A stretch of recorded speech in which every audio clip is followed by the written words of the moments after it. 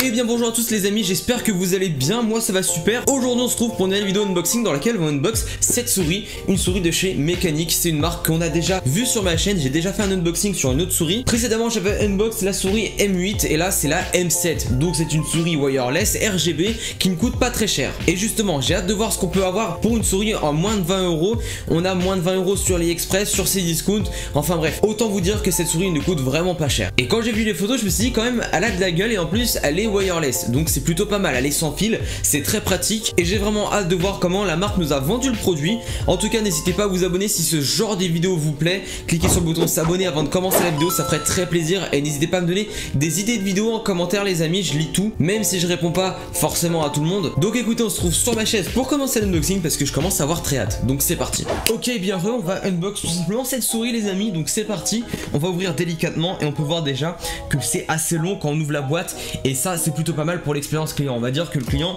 il attend, il est impatient de voir la souris et c'est cool. Voilà, moi j'aime bien personnellement. Et on a du coup la souris qui est présentée comme ça. Alors honnêtement, ça a de la gueule. Franchement, on a la souris du coup qui est juste ici au milieu, bien présentée, qu'on peut enlever et puis voir un petit aperçu. Alors généralement quand c'est uniforme comme ça, moi j'adore. Et euh, quand vous regardez des vidéos unboxing, surtout les miennes, vous verrez que j'adore ce genre euh, de présentation. Franchement, je kiffe. Et là, j'imagine du coup que tout est en dessous. On va voir et tout va être en dessous. Enfin, je pense pas qu'il y a énormément de choses. Voilà, il y a un câble. Donc on a vraiment l'essentiel, hein. tout simplement la souris, un câble et une notice et on va voir un petit peu tout simplement la résistance du câble même si le câble du coup théoriquement il servirait que à charger la souris quand elle est déchargée parce que sinon elle est wireless ce qui est très avantageux. Le fil n'est malheureusement pas tressé. Il est quand même assez souple ce qui laisserait du coup une grande mobilité pour la souris et c'est plutôt pas mal. Voilà on a vraiment euh, même s'il n'est pas tressé on va dire qu'il est bien foutu. L'embout est bien foutu il est assez stylé à mettre au bout de la souris et euh, on se trouve pas avec un vieux fil donc c'est plutôt pas mal. On a du coup euh, ce petit carton qui euh, certifie l'authenticité de la marque. Juste ici donc c'est plutôt cool. Et on a donc du coup la petite notice ici parce que oui il y a pas mal de petits boutons. Enfin il n'y en a pas énormément mais ce que je veux dire c'est que derrière il y a deux boutons ici il y a un truc ici on sait pas ce que c'est. Enfin voilà. Si on connaît pas trop la souris ça peut toujours être utile. Et puis même ils sont obligés de mettre une notice je crois normalement ils sont obligés légalement. Ça reste du détail mais au moins c'est bien de le préciser. On va dire que tout est bien brandé. C'est à dire que regardez là on a vraiment la marque euh, de partout bien foutu et euh, au moins ça respecte un thème, un, code couleur je veux dire pardon et c'est plutôt pas mal. Donc la souris juste ici les amis, on a tout simplement euh, le petit port USB à l'intérieur juste ici qu'on enlève, tac et là on a du coup euh, bah, la souris avec le port USB juste ici. Et du coup le fil quand on le branche ça rendrait quelque chose comme ceci, voilà, donc c'est plutôt cool. Mais moi ce que j'ai hâte c'est de voir un petit peu la tête de la souris quand elle est allumée et voir un petit peu sa qualité quand on l'utilise en wireless. Parce que c'est vrai que c'est intéressant quand même d'utiliser une souris wireless qui fonctionne bien et puis euh, bah, honnêtement je trouve ça vraiment très très cool même si actuellement je n'ai pas une souris wireless, je sais les avantages que ça et c'est plutôt cool. Et comme je vous ai dit les gars, du coup on se ruine pas parce qu'elle coûte vraiment pas cher.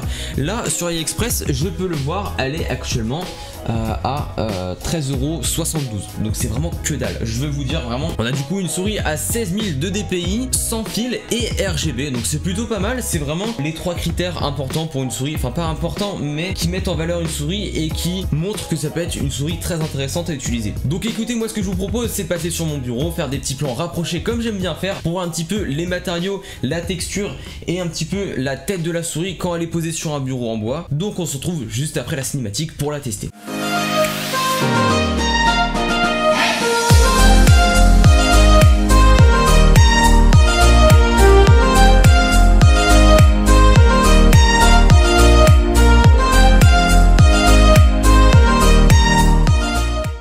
On se trouve tout simplement pour tester la souris. Donc c'est parti, on va aller sur le serveur habituel alias Funcraft. On a du coup la petite cam qui met euh, en évidence la souris et ma main. Donc c'est parti, on va faire un Nika Brain. Euh, je ne sais pas si ça va aller au niveau de l'aim, vu que c'est pas trop la même prise en main que ma souris habituelle. Étant donné que cette souris est un peu plus carrée et wireless, il n'y a pas de fil qui rentre en jeu et puis le poids est assez différent. honnêtement, je suis assez euh, étonné parce que la souris est assez lourde. Et c'est plutôt pas mal parce que généralement quand on a une souris pas chère, on se dit ça va pas être lourd, ça va pas être résistant, mais pour le coup, ça a l'air assez lourd. Je ne sais pas si je vais bien pouvoir butterfly click comme je fais d'habitude, mais on va avoir du coup un petit aperçu de ce que ça peut donner. Ok, oula. Mais quoi?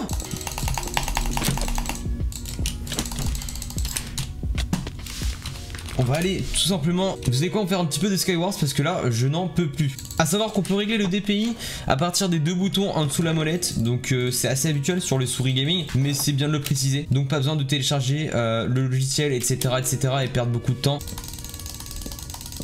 Après pour le coup c'est pas mon DPI habituel et du coup je suis un petit peu perturbé. Oh non Mais c'est un cheater Hein? Quoi? Non non non c'est hallucinant les gars. Il n'y a, plus de jeu gros, tout le monde cheat. Le mec n'aurait pas de cheat je l'aurais eu. Non mais non mais c'est abusé. Putain il arrive en plus.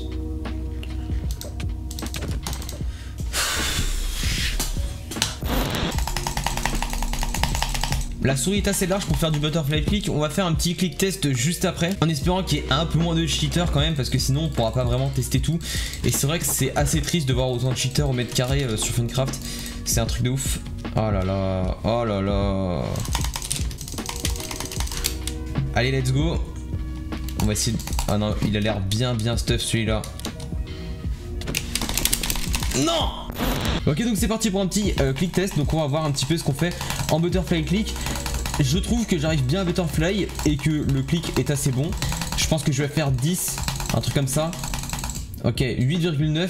Honnêtement, euh, pour une souris euh, sur laquelle je n'ai jamais essayé, et eh ben c'est très correct. En sachant que cette souris n'est pas faite pour Minecraft spécialement, euh, à savoir que le butterfly click se fait principalement sur Minecraft, je pense que là on sera vraiment carré. Les clics se prennent bien et c'est plutôt pas mal. Donc écoutez, je pense qu'on va faire une petite conclusion sur cette souris qui est wireless et RGB. Donc c'est parti pour la conclusion.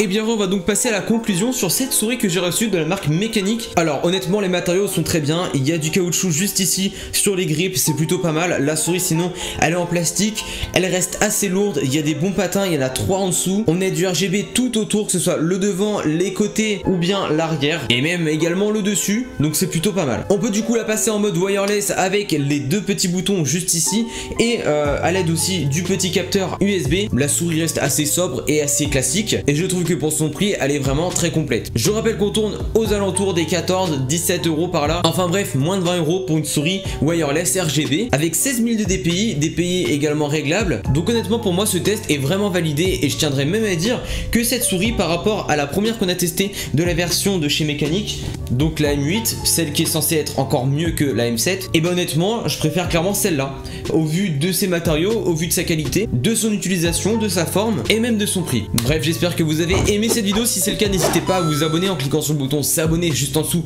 de la vidéo. En tout cas nous on se retrouve à la prochaine pour une nouvelle vidéo unboxing, c'était GX.